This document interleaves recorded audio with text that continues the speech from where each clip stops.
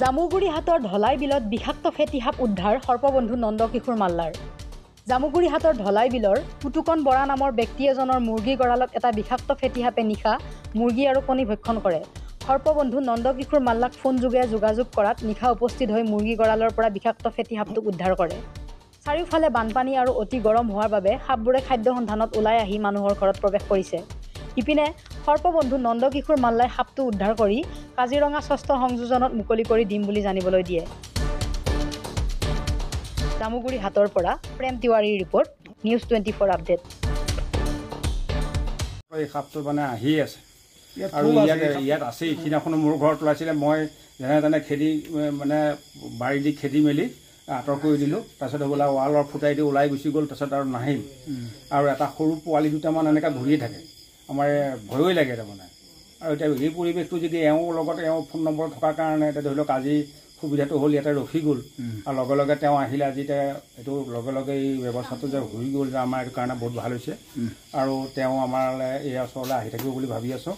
আৰু আহি থাকিলে আমাৰ মানে বিশেষকৈ এই অঞ্চলটোৰ সুবিধা হ'ব। আৰু বিশেষত বিষাক্ত সাপ যদি কেনেবাকৈ ৰাতি বিয়ালি হেৰি হৈ যায়। মানে সমস্যা হ'ব। আমাৰ তেওঁ যদি এনেকৈ ধৰণে আঁতৰ কৰি কৰি আমাৰ পৰা আমাৰ মানুহখিনি সুবিধা কৰিব বুলি আশা কৰিছোঁ আৰু তোমালোকৰ চেনেলৰ যোগেদি যদি এই বস্তুটোৰ এনেকৈ নিৰাময় হয় আমাৰো ভাল হ'ব তোমালোকৰো ভাল হ'ব বুলি আমি আশা কৰিছোঁ। আৰু এই বস্তুটো আঁতৰ কৰিব লাগে। আৰু ইয়াতে বহুত আছে ইয়াত। এতিয়া এটা নহয়। এতিয়া ইয়াৰ ঘৰতে যোৱাবাৰ দুটা আজি এই এটা আৰু আছে নেকি মোৰ সন্দেহ? আছে ইয়াৰ সিফালে আমাৰ মোৰ বেগ গৰম বেছি হোৱাৰ বাবে ওলাইছে ন? এই গৰম এইটো গৰম ছিজনতে হয় মইতো কি ক'ম আৰু ৰাইজক উপকাৰ কৰিবৰ কাৰণে মই আগবাঢ়ি আহিছোঁ। মই খবৰ পালোঁ। পুতুকন বৰাই আমাক ফোন কৰা বা কণ্টেক্ট নম্বৰ লৈ ফোন কৰিলে। ফোন কৰাৰ লগতে মই দেৰি কৰা নাই। লগতে আহিছোঁ। আহি মই বস্তুটো লগতে পাই গ'লোঁ। পাই যোৱাত ধৰি লৈ ৰাইজৰ আগত উপস্থিত কি। সাপ এইটো? এইটো হৈ গ'ল আপোনাৰ মুগী ফেটি। মুৰ্গী ফেটি মুৰ্গী ফেটি। কোন জেগা এইটো? দুই নম্বৰ পথাৰ। এইটো নাহৰজান বুলি কয়। নাহৰজান বুলি কয় এইটো দুই নম্বৰ পথাৰ গাঁও ঢলাই বিল ঢলাই বিল হয় ইতিমধ্যে এইটোৰ আৰু ধৰি আনিছে। ক'বলৈ একো নাই মই ৰাইজক সহায় কৰি যাম। আৰু আৰু ৰাইজৰ কাৰণে মই উপস্থিত আছোঁ যেতিয়াই মোক মাতে যেনি মাতে। ক'ত মুকলি কৰিব এইটো এইটো কাজিৰঙাত মুকলি। কাজিৰঙা ন? ঠিক আছে। মানে আজি চাৰে পাঁচটামান বজাত মোৰ মুৰ্গী আছে। আজিয়ে নহয় অৱশ্যে যোৱা বছৰো সোমাইছিলে। যোৱা বছৰ এনেকুৱাই ডাঙৰ ডাঙৰ দুটা।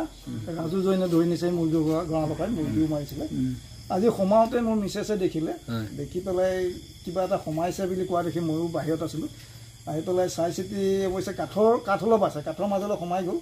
কিন্তু এখেতৰ মই নম্বৰটো অৱশ্যে মোৰ লগত আছিলে মানে মোৰ কেইদিনমানৰ আগতে কুচুমতলাৰ ধন হালৈ ঘৰত ধৰিছিলে। ধন হালৈ মিছেছ মোৰ লগতে টিচাৰ কৰে ইউ পি পাঁচগাঁও একাডেমীত। তেখেতৰ পৰা ফোন নম্বৰটো লৈ মই এখেতক কণ্টেক্ট কৰিলোঁ তেখেত যেনিবা লগে লগে আহি মালা তেখেতৰ ফোন নম্বৰ লৈ মই তেখেতক কণ্টেক্ট কৰিলোঁ তেখেত আহিল লগে লগে। আৰু গঁৰালত গৈ পেলাই সেই সময়ত মুৰ্গী ধৰিয়েই আছিলে। আৰু তেখেতে প্ৰায় ধৰি আনিলে।